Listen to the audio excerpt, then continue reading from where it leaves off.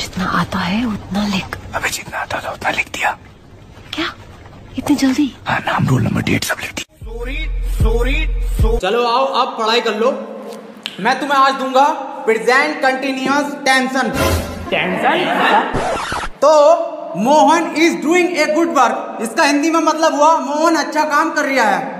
तो तुम बताओ Radha is doing a good work इसको हिंदी में ट्रांसलेट करके तू बता भाई तू बताओ।